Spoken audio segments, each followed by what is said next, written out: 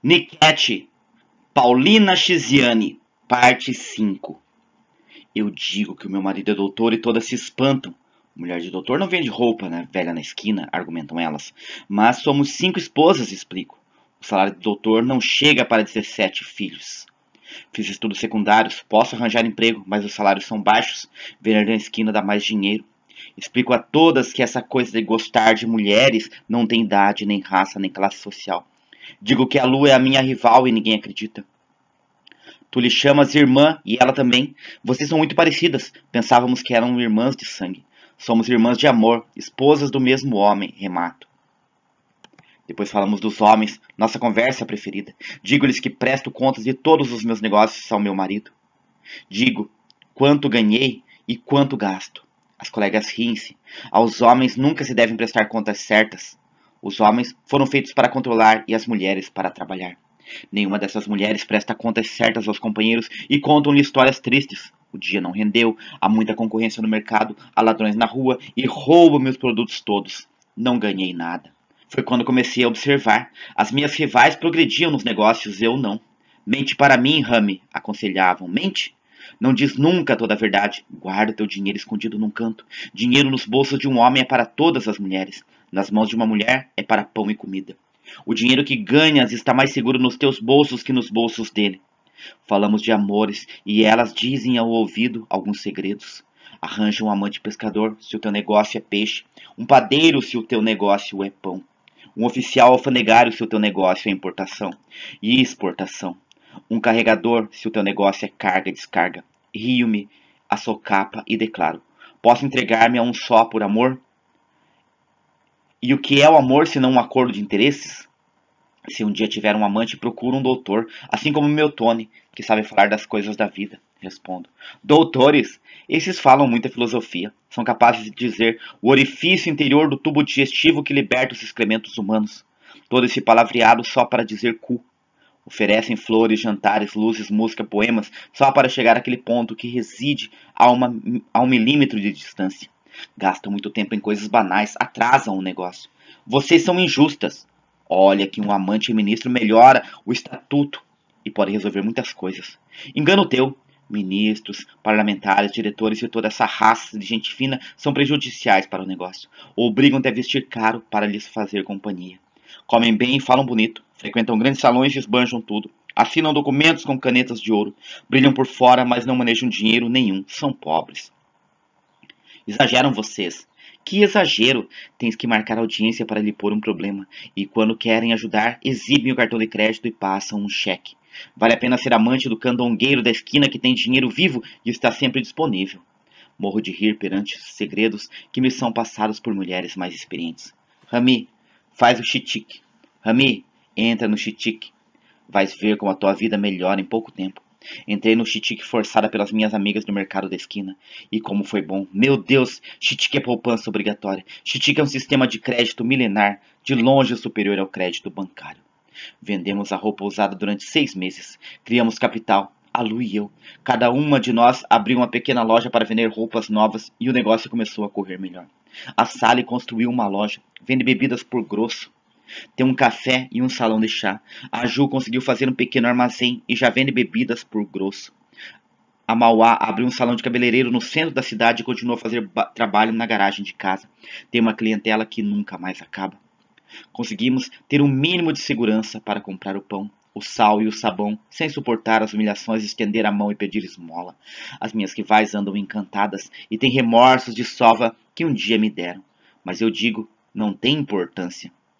Foram coisas daquele tempo. O que queriam vocês que acontecesse? 17. A minha sogra andou esvoaçando entre casas e caminhos. Visita as novas noras, os netos e distribui rebuçados de chocolates. Conquista-os, visita os irmãos, filhos, famílias.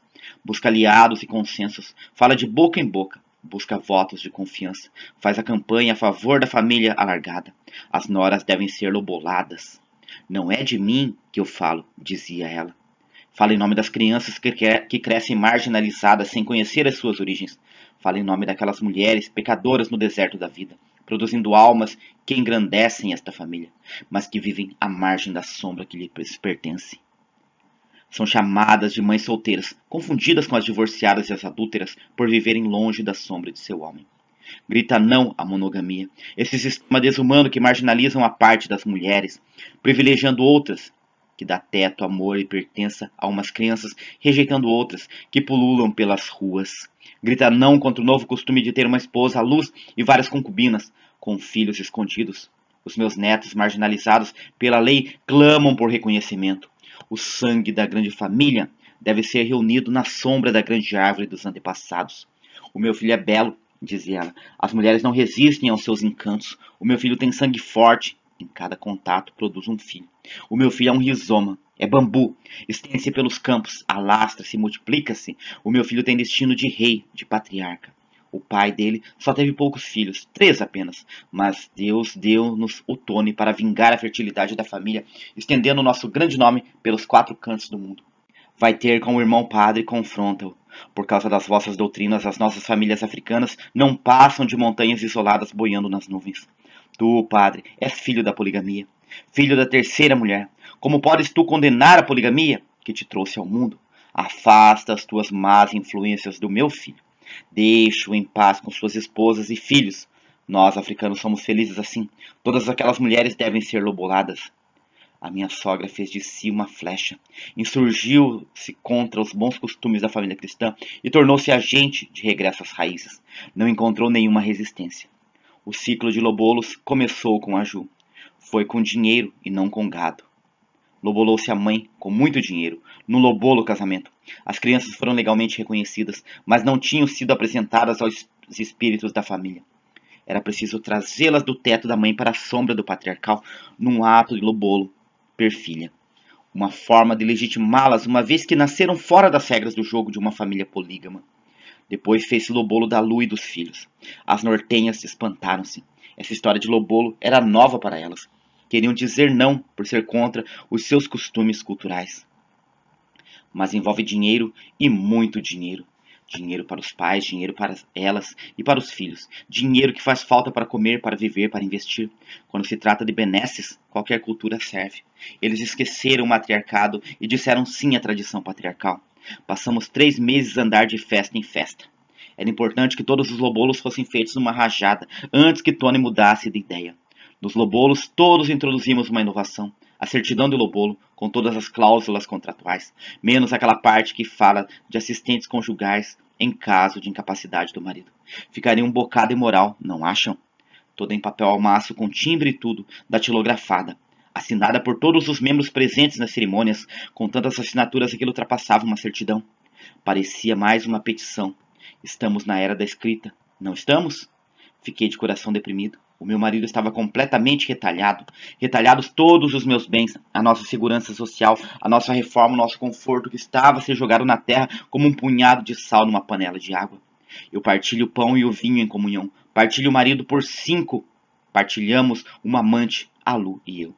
Ah, amor profundo, tu me retalhas o coração e me destroças em cada sopro. Vida, tu me obrigas a receber migalhas de amor que, é, que só a mim pertence. Fazes morrer devagarinho, célula a célula, e me sangra gota a gota. Adeus, meu marido total, meu amor de intimidade, ah, vida. Fazes-me aceitar essa mordaça só para ter o Tony por perto. Se eu digo não a toda essa confusão, o meu amor se espanta. Tivemos a nossa primeira reunião formal, o parlamento conjugal, inaugurado pela minha sogra e pelas tias já velhotas, para nos darem lições e tudo o que quiséssemos saber sobre o amor polígamo. O meu Tony, ao lobular cinco mulheres, subiu ao cimo do monte, diz a minha sogra. Ele é a estrela que brilha no alto e, como tal, deve ser tratado. E tu, Rami, és a primeira, és o pilar desta família. Todas essas mulheres giram à tua volta e te devem obediência. Ordenas, castigas se for preciso. Tu é que detens o trono e o cetro. Exerce o teu poder sobre elas, submeta-as ao teu comando. Tu és a rainha da casa. Sinto-me promovida na hierarquia da tirania. Dão-me um chicote, a que chamam cetro, para açoitar todas as infelizes que cruzarem a minha estrada. Não vou açoitar ninguém. Vou guardar esse bastão num baú e atirá-lo bem para o fundo do mar. Para começar, vocês devem elaborar uma escala conjugal. O marido deve ficar uma semana por cada uma, uma escala rotativa. Quem menstruar na semana da escala deve notificar-se imediatamente. Não podem conspulcar o corpo de Tony com impurezas de vossas menstruações. Isso pode lhe provocar aquelas doenças que fazem os testículos ganhar o tamanho das abóboras. Aquelas mulheres damas têm roxinóis nas gargantas e chiureiam as vozes mórbidas das cativas. Aquelas bocas desdentadas foram sugadas pelas pancadas, os lábios nunca conheceram beijos, só lamentos. Devem servir o vosso marido de joelhos, como a lei manda. Nunca servi-lo na panela, mas sempre em pratos. Ele não pode tocar na louça, nem entrar na cozinha. Quando servirem galinha, não se esqueçam das regras. Aos homens se servem os melhores nacos, as coxas, o peito, a moela. Quando servirem carne de vaca, são para ele os bifes, os ossos gordos com tutano. É preciso investir nele, tanto no amor como na comida. O seu prato deve ser o mais cheio e o mais completo, para ganhar mais forças e produzir filhos de boa saúde. Pois sem ele, a família não existe. Não nos rimos daquilo, mas apetece-nos. Guardamos silêncio perante a ladainha, como quem sempre adormeceram as mulheres ao longo dos tempos. Vocês, as mulheres modernas, têm o mau hábito de alimentar os homens de qualquer maneira. Guardam a comida na geladeira por dias e dias. Um homem deve ser alimentado com comida fresca. É preciso acender uma fogueira em cada dia. Não deem batatas cozidas do dia anterior, porque incha os testículos dos homens, principalmente dos rapazes em crescimento. Não comam nunca cabeça de peixe, nem de vaca, nem de cabrito, que é comida de homem. A cabeça do animal representa a cabeça da família. A cabeça da família é o homem. Na ausência do pai, toma o comando da família o filho varão mais velho, mesmo que seja um bebê. É um líder, é o chefe da família por substituição. Façam uma escala conjugal. Uma semana em cada casa é quanto basta para conviver. Dormir é despertar no mesmo lugar. É saudável. O homem não deve percorrer o perímetro da cidade em cada dia, porque é desgastante, pode morrer cedo. Tem muitas vantagens em casos de aflição. Todas saberão o lugar certo onde o poderão procurar. Essas vozes são sal na brisa, roendo lentamente como salitre. Elas só sabem aquilo que a dor ensina, não conhecem outro mundo senão a própria noite, e colocam a noite aos nossos olhos como único saber ao seu alcance. Ah, Tony, já não estou sozinha no teu encalço. Agora somos cinco. Quero ver se nos escapas com a tua esperteza de rato. 18. Semana vai, semana vem, alimentamos o corpo de sonhos e memórias de amores que duram apenas uma semana. De coisas boas não se enche o papo. Tudo que é bom dura pouco. Poligamia é isto mesmo: encher a alma com um grão de amor, segurar o fogo que emerge do corpo inteiro com mãos de palha, estender os lábios à brisa que passa e colher beijos na poeira do vento. Esperar, ouvir os suspiros do teu homem nos braços de outra mulher e esconder o ciúme. Sentir saudade e não sofrer, sentir a dor e não chorar. Fazemos a escala conjugal como nos foi ensinado e somos até mestres na matéria. O Tony esteve com a Mauá, mas chegou o fim da jornada. Estamos aqui reunidas para fazer a entrega da estafeta passar o homem de umas mãos para as outras, com delicadeza de quem segura um ovo. Eu, a primeira dama, faço sempre perguntas no ritual de entrega. Mauá, pergunto eu, como está o Tony? De saúde esteve bem, comia bem. E como lhe servias? De joelhos. Fizeste a galinha? Fiz. Que parte lhe serviste? As coxas, o peito e a moela. Muito bem. Agora fala-nos da outra parte. Ele andava bem, cantarolava e assobiava quando tomava banho numa expressão de felicidade total, mas quando chegava a hora só dormia, e como dormia, ressonava com as trombetas do paraíso e nada mais. Não houve nada? Nada. O rosto da Mauá perdeu o brilho de outros dias, e as palavras caem soltas como folhas mortas no prenúncio do inverno. Nos olhos, uma aura cor de névoa, duas lágrimas caindo. O amor é assim. Um dia te ergue a altivez das catedrais, no outro dia, derruba-te ao mais profundo do chão, fazendo-te chafurdar como um verme nas águas fétidas dos pântanos. Dizem que isso acontece de vez em quando, esclarece a Ju. Deve ser algum estresse, excesso de trabalho, depressão, sei lá. Também pensei nisso e fiz de tudo. Coloquei afrodisíaco na sopa, no guisado, no caril, no chá. Não deu nada. Nada. Pois é, a princípio julguei que era crença, mas um dia encontrei um fio de cabelo na roupa. Um fio longo, grosso, não daqueles cabelos artificiais. Desconfiei, cacei e acabei descobrindo. Ele tem outra. Outra? Sim, outra. Ela fala de traição e as palavras dolorosas fluem como lanças. Entra num choro convulsivo, como uma chaleira fervendo, no rosto molhado as tintas da maquilhagem. Devolvem-se, formando lágrimas negras, azuis, vermelhas, e toda ela se transforma num borrão de cores. Só gostaria de conhecer essa mulher com capacidade de me defrontar a mim. Mauá, Sualé, quero conhecer o rosto dessa mulher que me afronta. Perdi o meu tempo a preparar afrodisíacos macuas para ele viver bem com uma outra qualquer. Os espinhos do amor abrem feridas, chagas, cancros cujo curativo ninguém conhece. Se não o daríamos a Mauá para cicatrizar a sua dor. Ela parece uma flor envenenada, murchando, morrendo. Por que choras? pergunta Ju com ironia, aproveitando o momento para lavar a roupa suja. O que tu sentes, já sentimos todas, Mauá. Nós fomos sofrendo traições, uma a seguir a outra. Tu é que escolheste um polígamo? De que te queixas? Estás magoada? Pergunta Sally com sarcasmo. Não sabias que era assim? Estás triste? Quem te disse a ti que o Tony era só teu? Por acaso ele te disse que eras a única e a última? Oh, Mauá, para quem já tem cinco, basta acrescentar um zero para se ler cinquenta. O Tony terá cinquenta mulheres, vais ver. Na poligamia não há limites de paixão, Mauá. As outras três aproveitaram a ocasião para uma pequena vingança. Toda mulher desprezada encontra consolo na desgraça alheia. Em coro, lançavam pedradas contra Mauá, numa atitude de total cobardia, batendo na sombra sem tocar na árvore. Sou a única que não diz palavra nenhuma. Para quê?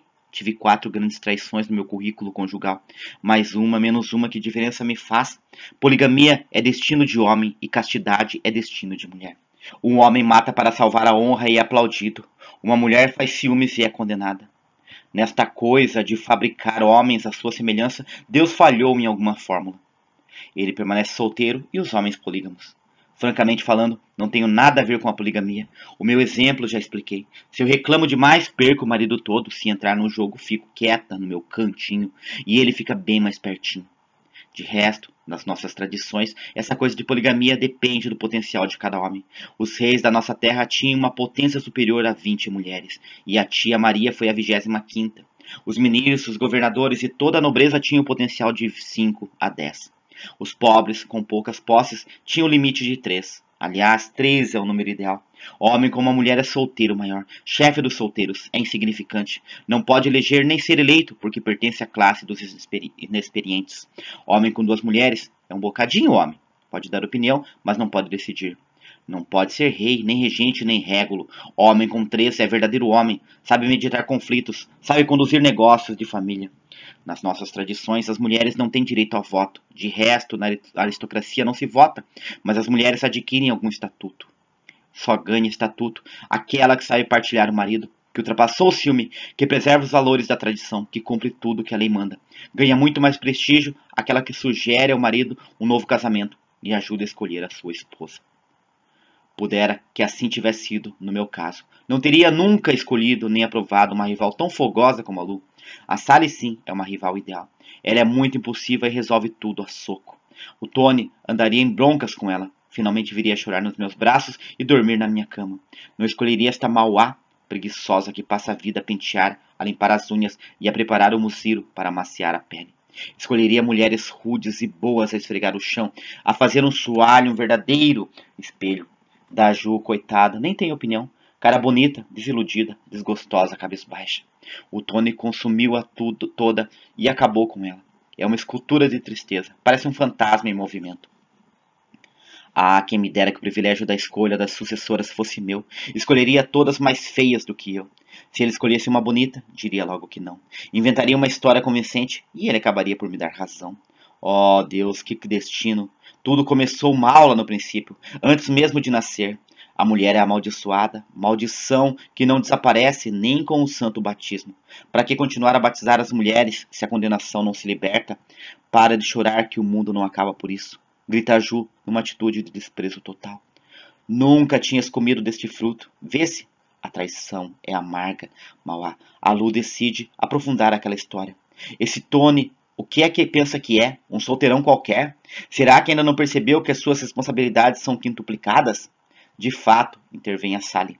Temos que fazer alguma coisa. A poligamia confere-nos alguns direitos. Vamos usufruí-los. Um polígamo pode ter amantes e deve ter amantes, caso suas esposas estejam no período de resguardo. Tens a razão, complementa Lu. Nenhuma de nós teve nenhum aborto e nem está a aleitar. Eu não estava menstruada, estava pura, muito pura, diz a Mauá revoltada. Ele não tinha razão de fazer isso comigo. Mas isso é grave, comenta Sally. Uma pessoa fica quatro semanas de espera só para ver o homem a ressonar como um anjo. Um polígamo deve informar e explicar às esposas das razões da nova conquista. Algumas de vós recebeu tal explicação? Todas afirmamos que não. Mauá conta-nos bem essa história. Conta com todos os pormenores. Como é que ela é? E bonita? A mim não me supera. Comparada comigo, ela é mais velha, mais gorda, feia até. Porque me deixa a mim e prefere a ela por ser uma mulata? O entusiasmo desaparece. Uma mulata é uma rival a sério. Os homens negros são obcecados pelas peles claras, como os brancos são obcecados pelas cabeças loiras. Mas na verdade as escuras têm mais calor. Elas sabem disso. Mulata, diz a Ju, mais curiosa. Não gosto de mulatas. Elas são a perdição dos nossos homens. Mulata, prova, nhangana. Mulata de terceira, dizia Lu num tom de gozo. Deve ser filha de um branco de cacana, branco de loja de caniço, lá dos confins dos subúrbios. Para que esse racismo agora? Perguntei eu mal-humorada. Mulata não é mulher? Mulatas são mulheres e mais, são especialistas em magias de amor. Elas são uma tentação no paraíso. Vamos perder o Tony, vais ver. Mauá, ela é mais bonita do que nós? Melhor que nós, ela não é, já disse, responde Mauá fungando. É mais velha, mais gorda, mais feia, mas veste-se bem e tem um bom carro. Mauá, qual o estado civil dela? Ah, não, isso não se vê à distância. Poligamia é para a mulher preta, não é para as mulatas, não tranquilizo-as. Essa mulher só quer divertir-se, a nossa custa, roubar-nos o Tony por uns tempos, comer-lhe o dinheiro e largá-lo quando estiver saciada. As mulatas de terceira são pretas e não se importam com a poligamia, argumenta Lu. O que elas querem é um poiso para que o mundo diga: ela tem marido. É importante saber o estado civil dela. Se é casada, não há perigo nenhum. Se é solteira, não deve ser boa peça. Mulher solteirona ao lado de um polígamo só pode ser caça-maridos ou caça-fortunas. Daqui a pouco ela engravida e exige estatuto. E seremos seis. Se ela é viúva, tem a herança do seu morto e só quer um momento de amor. Divorciada? Nunca se sabe o que anda na cabeça de uma divorciada. Se passar o tempo, se caçar o bolso ou gozar a vida. O homem tem asas, voa, de pois em pois, de beijo em beijo, gozando as alegrias desta vida. E nós, mulheres, semeando amor como grão em cada palmo do chão. E quando germina, vem bicos de outros pássaros colher na nossa seara, deixando-nos com fome do tamanho do mundo. Mas o que quererá o nosso Tony com essa tal? Pergunta a Lu mais interessada. Não nos basta a escala, esta espera horrível. Se ela se junta a nós, o tempo de espera passará a ser de seis semanas e não cinco. É preciso evitar esse desastre. Penso com rapidez. Cinco é um número ideal para o parlamento conjugal. É ímpar e desempata qualquer votação. Seis é confusão. Não dá. Temos que fazer alguma coisa. Mauá, este problema é teu, digo eu. És tu quem o deve resolver. Tens que saber mais sobre essa mulher. A sua ficha de identidade completa, nome, estado civil, conta bancária, objetivos da relação com o nosso Tony. Perguntar não dá, diz a Sally. É preciso fazer um flagrante, fotografar o beijo roubado e trazer a imagem viva dessa mulher. Para que? Na altura saberemos. Definimos as estratégias, combinamos. No dia seguinte, a Mauá e a Lu partiram à caça de um flagrante, o que não foi difícil. Conhecer os gostos do Tony, os seus lugares preferidos, facilitou o trabalho. A Mauá e a Lu fizeram um flagrante bem feito e até trouxeram fotografias do delito. Compararam toda a informação a respeito dela e trouxeram as novidades. Reunimos-nos outra vez na urgência. Analisamos as fotos. Meu Deus, essa muleta parece um sol. Tem a beleza das estrelas do cinema. Filmes à parte, ela é muito mais bonita que a Mauá. Parece uma deusa iluminando os caminhos. O sorriso dela é de amor e de entrega total. Um sorriso de triunfo sobre a solidão. A foto foi tirada com um olho tão mágico que até a fotografou a alma dos amantes. O sorriso do Tony é um punhal de traição que nos faz os nossos corações sangrar de dor. A Mauá não aguenta. Chora como uma viúva. Quero que a terra me engula, grita ela. Quero que a morte me leva. Mas a realidade do amor é esta. Amar, é ser, amar e ser amado é coisa de homem. Para a mulher, o amor recebido dura apenas um sopro, um flash de fotografia, simples pestanejar da vista. Para a mulher, amar é ser, tro ser trocada como um pano velho por outra mais nova e mais bela. Como eu fui. É ser enterrada viva quando a menopausa chega está seca, está gasta, estéril, não pode produzir nem prazer nem filhos, e já não floresce em cada lua, dizem os homens. A imagem desta Eva deixou-nos desorientadas por um instante. Mil perguntas se desenrolavam nas mentes. Estaria o Tony interessado em levar aquela relação até as últimas consequências? Que lugar teria essa mulher na sua vida? Que lacuna preencheria ela? Que as cinco não conseguissem satisfazer? Que palavras dizia ele no ouvido dela para lhe produzir no rosto aquele sorriso divino? Dizia que a amava? Dizia que era a mulher mais perfeita do mundo? Que era solteiro ou casado com uma só?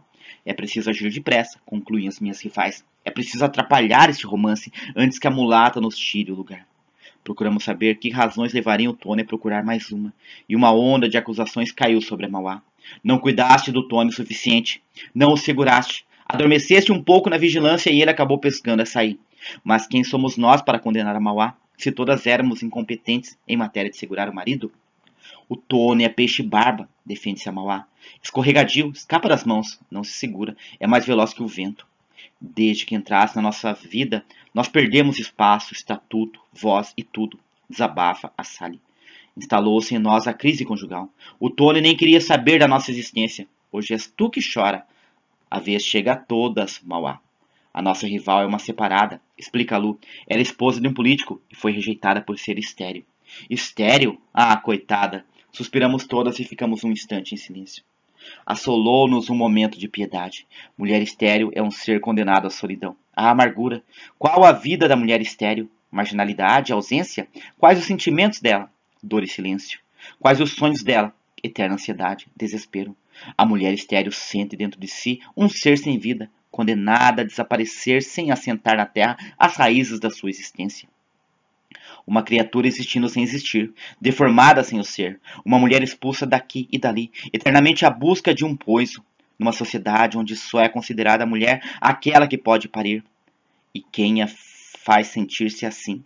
A sociedade, os homens, as próprias mulheres, especialmente as sogras que determinam o número de filhos que devem nascer dentro de um lar. Estava a preparar-me para dar-lhe a maior sova deste mundo, diz a Sally. Mas tenho pena dela. Ela pode ter todos os tesouros deste mundo, mas mulher sem filhos, que graça tem? Tens pena, argumenta Lu. Saiba que todos os polígamos gostam de ter uma estéreo. Dá jeito, não cheira leite. Nos braços da mulher estéreo, marido é filho, enquanto nos nossos braços ele é pai, é marido. Mulher estéreo é sempre jovem e sempre bela. Um bom polígamo sempre tem no seu rebanho uma mulher estéreo. Enquanto nós dividimos o coração pelos filhos e pelo marido, ela só pensa no seu homem. O Tony procurou-o apenas por isso. Deve estar cansado de fazer filhos em cada esquina. Essa mulher é um perigo. Mauá, e é a tua vez de fazeres alguma coisa para travar essa relação. O que descobriram mais? Tem dinheiro essa mulher, manda chuva. Tem estatuto, no emprego dela é chefe, manda nos homens, conduz um carro que é um paraíso. Comprou com o dinheiro dela? Não haverá aí uma mão do nosso Tony? Não parece. Deve ser do antigo marido ou dela. Mas se ela tem tanto dinheiro, por que meter-se com um pobre diabo como o Tony? O que fazemos agora, meninas? Decidimos por um protesto que não seria greve de sexo, mas um corretivo, uma manifestação amorosa, pacífica, que ajudasse o Tony a pôr a mão na consciência. Primeira mulher de polígamo é isto: sentar num trono cobiçado, usar uma coroa disputada, controlar os desejos reprimidos da esposa, si. Revoltadas, insatisfeitas, essas mulheres falam das suas mágoas e nem imaginam a dor que sinto por tudo isso. 19. Convidamos o Tony para um jantar da família, porque é bom estarmos todos juntos de vez em quando, explicamos. Ele gostou da ideia e concordou. Vestimos-nos com todo o esmero e partimos para o combate. Ao cair da tarde, reunimos-nos na casa de Sally. O Tony estava sentado na sala e lia os jornais do dia. Muitas pombinhas, saudou-nos ele com o sorriso mais franco do mundo, criador diante das fêmeas reunidas no curral. Ofereceu-nos uma conversa de mel com palavrinhas mais doces que balas de açúcar. O jantar foi bom, o ambiente era agradável. Fizemos-lo beber o suficiente para destravar a língua. Tony sempre se interessou saber por que gostas tanto de nós. Faz de conta que és nosso espelho e diz-nos: Como é que nos vês? Querem saber? Queremos. Não vão se zangar nem ofender? Claro que não. O Tony começa por falar da mais nova. A Mauá é o meu franguinho, diz. Passou por uma escola de amor. Ela é uma doçura. A Sally é boa de cozinha. Por vezes acordo de madrugada com saudades dos petiscos dela. Mas também é boa de briga, o que é bom para relaxar os meus nervos. Nos dias em que o trabalho corre mal e tenho vontade de gritar, procura só para discutir. discutimos, e dou gritos bons para oxigenar os pulmões e libertar a tensão. A lua é boa de corpo e enfeita-se com arte. Irradia um magnetismo tal que dá gosto andar com ela pela estrada fora. Faz-me bem a sua companhia. A Ju é o meu monumento de erro e perdão. É a mulher a quem mais enganei. Prometi casamento. Desviei-lhe o curso da sua vida. Enchia de filhos. Era boa estudante e tinha grandes horizontes. É a mais bonita de todas vocês. Podia ter feito um grande casamento. Da Rami, nem vou comentar. É a minha primeira dama. Nela me afirmei como homem perante o mundo. Ela é minha mãe, minha rainha, meu âmago, meu alicerce. Tony, desabafa Ju com certa amargura. Cada uma de nós tem a sua função. Para ti as mulheres são objetos de uso assim como o papel higiênico? Não é bem assim, Ju. Tenho muito respeito pelas mulheres, muito. Jesus, filho de Deus, nasceu do ventre de uma mulher. Tenho muito respeito por todas as mulheres do mundo. Ele vai se desfazendo entre ofensas e galanteios, como um Dom Juan. Não vê as feridas que abre. A aldeia de ofensas nem existe. Pois não corre nenhum perigo. Perigo de quê? As mulheres são suas, loboladas, compradas, apaixonadas, com filhos já paridos. Elas estão seguras, pescadas. Ao peixe pescado, amanha-se, tempera-se, cose-se e come-se. Ele pode dizer tudo o que lhe vai na alma, sem correr qualquer perigo. A conversa assumia um trilho doloroso e os nossos rostos contraíam-se de mágoa. Sentes-te realizado conosco, não é, Tony? Pergunta Lu com voz trêmula. Muito, muito. O que te faz então procurar uma nova mulher? Nova quê? Estamos a falar da Eva, a mulata. Ele sente que está na ratoeira, mas depressa recupera a calma. Levanta a voz e responde sem rodeios. Vontade de variar, meninas. Desejo de tocar numa pele mais clara. Vocês são todas escuras, uma cambada de pretas. Sabujo de coração sujo, grita Mauá. Esse é um assunto meu, não se metam nisso. Somos tuas esposas e nos deve explicações, responde a Sally. Vejamos o teu procedimento nesses últimos tempos, vocifera Lu. O teu desempenho piora a cada dia. No lugar de corrigir o que está mal, buscas mais uma. És bom na conquista, mas não aguentas conosco. Para que queres tu mais uma? Nos olhos de Tony é surpresa. A raiva, a arrogância. Responde com grosseria e humilha-nos no habitual discurso de macho. Já esperávamos. O que vocês pensam que são? Sou vosso marido, mas isso não vos dá o direito de interferir na minha vida. Pela primeira vez, enfrentamo-lo sem medo e dissemos todas as verdades. Dissemos tudo o que nos doía. Deliramos. Estamos cansadas das suas paixões, dizíamos. Esgaravatas aqui e ali, bicas, largas e partes, como uma ave de rapina. Estamos cheias de filhos e privadas de carinho. Aos nossos filhos ofereces amor instantâneo. E corres logo para outros braços e outros carinhos. Em casa da casa há crianças em coro gritando: Onde está papá? Quando vem papá? Onde foi papá? Eu quero papá. Temos vontade de nos enfeitar e ficar bonitas. Mas para quem? Se não temos quem nos veja, quem nos leve ao cinema, ao baile, ao jantar, temos vontade de cozinhar melhor. Mas cozinhar para quem se comemos sós? Tu não passas de uma abelha, beijo aqui, beijo ali, só para produzir teu mel, transportando doenças de uma para outra. E a qualquer dia morreremos de doenças incuráveis. O teu coração tem o tamanho de um caminhão para transportar tantas mulheres ao mesmo tempo. Calamos as nossas ansiedades durante quatro semanas à espera da vez. Guardamo-nos o mais possível para te sermos fiéis. Mas presta atenção, isto vai acabar. Os dias não são todos iguais. A natureza tem outras flores, outros perfumes e outro mel.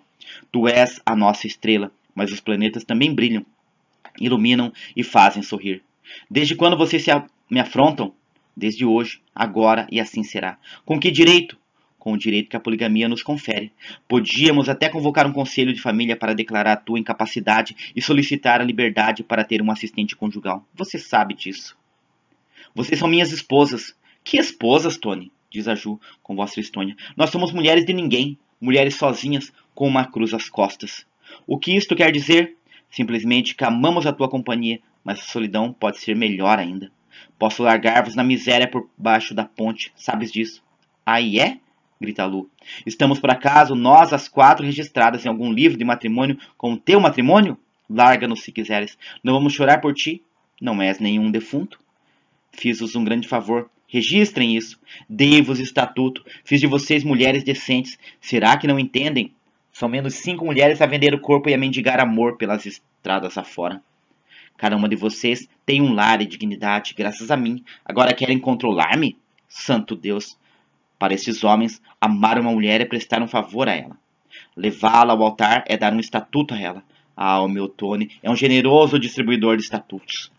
Ninguém responde para não azedar mais o ambiente. Nós olhávamos para ele com muita mágoa, mas perdoamos a crueldade de suas palavras.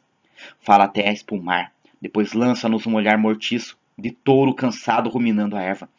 Mas porque se zanga ele, na poligamia as esposas cuidam da vida sentimental do seu senhor, dão parecer. Defende os interesses do lar. A nova esposa deve ser um elemento de prosperidade e harmonia, e não de conflitos e diferenças. Por isso é que a opinião das outras esposas é importante. Desta vez, a grande opinião cabe a Mauá, a última. Mauá, tu que és a última, o que tens a dizer sobre esta relação? Não concordo. Eu sou muito nova e tenho muito para dar. Amor, filhos, alegria e riqueza também. O meu negócio está a andar muito bem. Consegui conquistar clientes de alto nível. Essas mulheres de ministros, deputadas macuas e suas amigas, mulheres de negócio, tratam da beleza no meu salão. Não precisas de mais mulher nenhuma, Tony. A Sally transpira, fixa os olhos no Tony e depois lança-nos um olhar de conspiração. Ergue-se de repente, tranca as portas e esconde as chaves. Ela é uma mulher de ação e não de conversa. Chama a Lu e entram no quarto. Ouve-se remexer dos móveis. Talvez estejam à procura de alguma coisa. Saem. A Sally convida. Não prolonguemos mais esta conversa. Está na hora de dormir. Estão todas convidadas a dormir aqui. Dormir naquela casa não estava dentro dos nossos planos, mas o que anda na cabeça desta Sally, o Tony é apanhado de surpresa. Dormir todas aqui? Hoje vai mostrar-nos o que vale, Tony, diz a Sally furibunda. Se cada uma te realiza um pouco de cada vez, então realiza-te de uma só vez, com todas nós, se és capaz. O Tony fica atrapalhado. Somos cinco contra um. Cinco fraquezas juntas se tornam força em demasia. Mulheres desamadas são mais mortíferas que as cobras pretas. A Sally abre a porta do quarto. A cama estava desmontada e o soalho coberto de esteiras. Achamos a ideia genial e entramos no jogo. Era preciso mostrar ao Tony o quanto valem cinco mulheres juntas. Entramos no quarto e arrastamos o Tony, que resistia como um bode. Despimos-nos em striptease. Ele olha para nós. Os seus joelhos ganham um tremor ligeiro. Faz muito calor nesse quarto, mas as janelas estão abertas. O vento corre fresco, mas o quarto é quente. De onde vem este calor todo? Ah, este é o calor da transpiração, é o fogo da zanga escapando do corpo humano. Olho para minhas irmãs completamente nuas, roliças todas elas. O chão do quarto vai vergar de tanto peso. Avalio a situação e apanho um susto. Meu Deus, é muito traseiro e muito seio. Tudo isso para um homem só? O Tony leva as mãos à cabeça e depois ao rosto para esconder os olhos e gritar: Meu Deus, por favor, parem com isso, por Deus! Que azar é este que me dão agora? Lança um olhar assustado. Nenhuma de nós imagina as sensações e as complicações e as confusões que são geradas por este ato.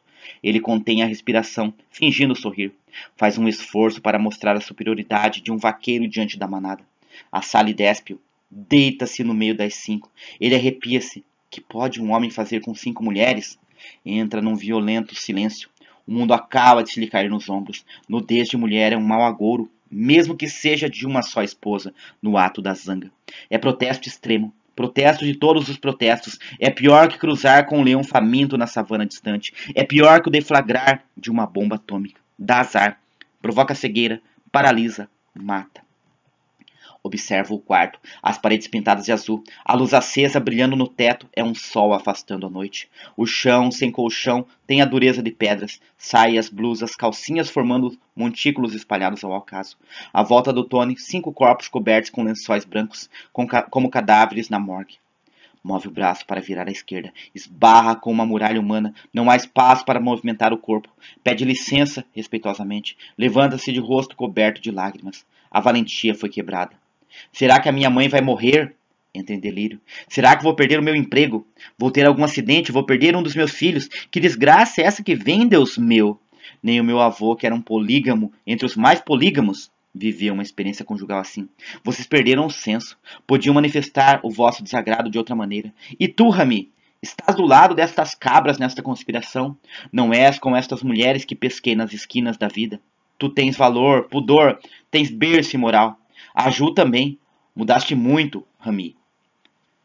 Mudaste tu, meu amor. Deixaste-me a mim e preferiste outras mulheres. Tony, só estou a seguir-te, obedecer-te, satisfazer os teus desejos, escrava de todos os momentos. És a minha esposa de verdade. Não te devias meter nesse tipo de coisa, Rami. Tony, olha para a tua seara. O amor que semeaste cresce ou não? As feridas que fizeste em cada coração cicatrizam ou não? Por que me acusas a mim? Ele olha-me intensamente. Naquele olhar assustado, ele pede socorro. Treme num violento espasmo e deixa descoberto o terror estampado na alma. Nós ficamos imóveis, surpresas, aguardando o desfecho daquela loucura. Muito espantadas, apreciávamos o perfil inédito do marido chorão. Diz que sente a garganta seca, vai à cozinha e bebe um pouco de uísque e não experimenta prazer. Nem é o prazer que procura, busca no álcool a força que não tem. A nossa atitude aponta caminhos de guerra que ele não poderá vencer. Decide fazer toda a confissão. A Eva é uma simples amiga, não é nada do que vocês pensam. Ele conta a história toda. Ela não é analfabeta, explica. Tem muitos estudos, é doutora, é diretora de uma empresa, é rica. De mim não tira, pelo contrário, dá. Mas é uma pobre mulher, porque não tem marido, porque não tem filhos. Pobre de alma deriva no azul da vida. Sem âncora, sem pai nem mãe. Ela só tem dinheiro, muito dinheiro, e por isso dei-lhe a esmola da minha companhia. Há amizades que fazemos por generosidade, comenta. Como mulheres jamais entenderão isso. Nos nossos olhos, ele já não é um homem. É um super-homem, lendário herói, defensor de almas solitárias que dá o seu oxigênio para que as plantas não morram. Os nossos ouvidos estão suspensos entre a verdade e a mentira. A versão que coloca na história da Eva pode ser verdadeira, pode ser falsa. Os homens são especializados em encobrir escapadelas conjugais. Foi por acreditar nas suas mentiras que acabamos por cair neste cerco. Mas todas as mulheres gostam de uma boa mentira. Essa mais bela, a melhor, dizem-nos eles. E acreditamos. Eu te darei o céu e o sol. Fechamos os olhos e abrimos os braços e o peito para receber o sol e o céu que nos será dado de presente. És a única. Abrimos a boca, engolimos a isca e comportamos-nos como seres únicos, gravitando na dança da união até cessar a ilusão. Estávamos todas ali, cinco mulheres, cinco cabeças, cinco sentenças, acusando, exigindo, castigando. Éramos o solo fértil não cultivado, não adubado nem regado, onde o semeador um dia lançou a semente e o abandonou em busca de novas conquistas. Quando não se pode ter um homem por completo, mais vale dividir que perder. Ah, meu bom Jesus, tu que fizeste o milagre da multiplicação dos pães, venha de novo e multiplica também os homens. Multiplica também o Tony em cinco, um para cada dia. Cientistas de todo mundo, clonai o meu Tony para que deixe de ser um quinhão dividido com uma côdea de pão. O Tony desespera-se, deita-se de papo para o ar. O momento inspira-o a sentimentos de frescura. O luar deve ser lindo lá fora. A noite deve ser bela lá fora. O ar deve ser fresco lá fora. Ah, deve ser bom estar lá fora. Eu quero estar lá fora. Ergue-se e vai de novo à cozinha. Esvazia meia garrafa de uísque num trago. Volta ao quarto e grita-me: Rami, vamos para casa. Carreguei o meu fardo aos ombros. Partimos. Chegamos. De repente sou invadida por um prazer imenso. Que bom é entrar em casa com o marido ao lado, mesmo embriagado. Nos quartos as luzes estão acesas. As crianças estudam, ouvem música, descansam. Preparei-lhe um café forte. Tomou, vomitou. Levei-o ao banho frio. Refrescou. Coloquei-o na cama e ele fingiu que dormia quieto abraçando o travesseiro como órfão de mãe. Vejo o coração a bater fundo debaixo dos lençóis. Vejo as línguas de fogo a devorar minha alma aterrorizada de medo dos azares de amanhã. A gula desmedida gerou congestão de amor no estômago pequeno. Pobrezinho, julgava-se capaz de pastar uma manada de esposas sem dissabores nem sacrifícios. Olho para a janela. A noite está gelada e densa. O luar fugiu. Penso, sofro. Mas o que é que a nudez tem de extraordinário? Não dá para perceber. Meu Deus, não dá. O Tony treme de medo da nudez de suas esposas, que cria fantasmas nos seus sonhos. Embalo, dorme bem, meu marido. Meu menino assustado. Deixa que essa alminha se eleve e se purifique num voo de coragem. Nudez, nudez malvada, nudez sagrada, nudez que mata, nudez que encanta, mini saia, striptease, carnaval, nu, bunda de carnaval atração fatal, nudez de sereia nos aquários dos melhores prostíbulos, pornografia de filme, de revista, peep show, pornografia ambulante nas ruas da cidade quando a noite cai, nudez inspirando voos maravilhosos e catástrofes apocalípticas. Era uma vez um amigo meu que sonhou com uma mulher nua. Essa mulher era eu. Ficou de tal maneira transtornado que reuniu toda a família para participar do infortúnio. Invocou todos os espíritos, cumpriu rituais protetores, gastou rios de dinheiro apelando fantasmas contra a minha sombra e a minha sorte, porque julgava que eu o enfeitiçava. O seu desespero foi tal que ao volante de seu carro, ao descrever uma curva na avenida da Marginal, quebrou a muralha e capotou no mar. Escapou por um triz. Mais tarde confessou-me: Sonhei-te nua, porque te desejava tanto, e tu, simplesmente, não me ligavas nenhuma. Nudez de mulher é bênção, maldição, proteção. Há muitos relatos de mulheres nuas acompanhando os guerreiros na hora do combate. Dizem que durante a Guerra Civil, os comandantes ferozes, armados até os dentes, levavam sempre uma mulher nua com miçangas na cintura, à frente do pelotão. Ela avançava destemida e exibia-se. O inimigo via, acobardava-se, desmoralizava-se, porque ver uma mulher nua antes do grande combate significa derrota e morte. O fim do mundo, nas suas manifestações, nas naparamas, levam sempre uma mulher nua à frente, seu escudo e proteção. Mulher é maldição, mesmo vestida. Os caçadores de grandes feras interrompem a marcha para a grande caçada quando lhes bate o infortúnio de se cruzarem com uma mulher dirigindo-se ao trabalho. Mulher é também bênção. O grande tocador de timbila só se inspira e transmigra até ao além quando, as, quando a mulher se senta do seu lado. Qual deusa, qual musa inspiradora. Muitos esportistas recebem a bênção da mulher nua na partida para uma importante partida de futebol. As mulheres dançam nuas no lugar escondido no dia do funeral para abominar a morte. Mbelé dança de mulheres nuas para atrair a chuva. Dançar nua ao lado de um moribundo atrai a morte. Povo africano, povo nu, povo de tangas, de pobreza, povo simples, ligado à natureza. Em África, o calor vem do sol e da alma. Por isso as mulheres se desnudam e se refrescam nos rios lavando roupa. Nos campos elas andam de mamas ao léu, semeando, colhendo, sachando. Ó oh, mãe África, mãe nua, como pode a nudez das tuas filhas ser mais escandalosa que a tua, mãe África? Era uma vez um rei africano, déspota, tirano. Os homens tentaram combatê-lo. A rebelião foi esmagada e os homens espalmados como piolhos. As mulheres choraram o infortúnio e conspiraram. Marcharam e foram manifestar o seu descontamento junto do rei. O rei respondeu-lhe com palavras arrogantes. Elas viraram as costas, curvaram as colunas, levantaram as saias, mostraram o traseiro, a sua majestade e bateram em retirada deixando no seu discurso de maldade. O rei não suportou tamanho insulto, sofreu um ataque cardíaco e morreu no mesmo dia. O alvo que as balas dos guerreiros não conseguiram atingir foi alcançado por uma multidão de traseiros. Nudez de uma esposa apenas no escuro ou na penumbra, porque é o centro da vida, ponto de origem. Da nudez para o paraíso original é apenas um passo.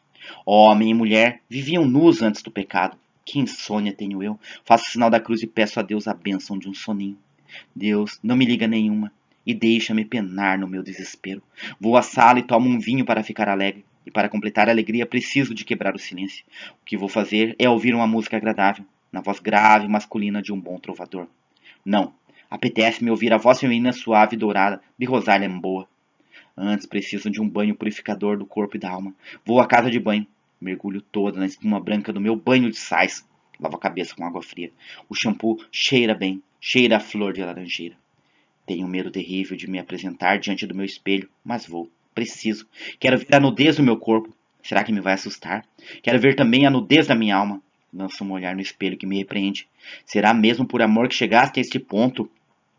E que tipo de amor é esse que te rouba a dignidade e a vergonha a ponto de mostrar o teu nu diante das tuas rivais? Escondo os meus olhos do espelho. Cobre-me de indecência este amor, a ponto de me deixar arrastar por atos tão indecorosos? Que mulher sou eu que não se estima? Que pessoa sou eu que pisa a vergonha e o ciúme, transformando meu corpo num objeto de vingança? Deus meu, tira-me desta farsa, desta hipocrisia, desta maldade disfarçada. Volto ao quarto e deito-me ao lado do meu marido. Ele revolve-se na cama. Deve estar a viver um pesadelo. No pesadelo deve haver uma multidão de mulheres nuas que se multiplicam continuamente. Talvez o seu sonho seja igual ao pesadelo daquele rei africano. Deve haver uma sucessão de azares, acidentes, terrores, mistérios. Ele resolve-se, resolve-se nos lençóis como uma serpente. Penso na minha história. Penso nos milhões de mulheres presas nos haréns do mundo e peço perdão a Deus pelo mal que a vida lhes faz. Continua.